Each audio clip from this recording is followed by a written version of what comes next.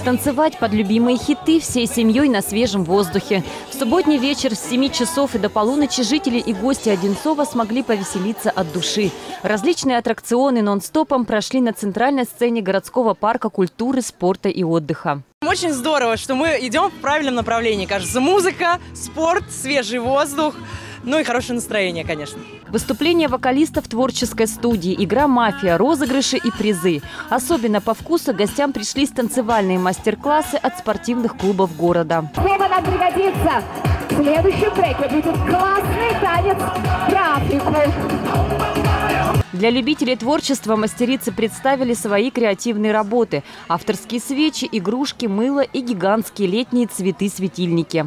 Украсят не только дома, дачи, но и приусадебные участки, пруды. У меня светящиеся лотосы, светильники для детских комнат. Акция «Ночь в парке» прошла в Подмосковье впервые и превзошла все ожидания. На 64 площадках побывали свыше 80 тысяч посетителей. Погода не подвела, праздник подарил множество приятных моментов и хороших воспоминаний о лете.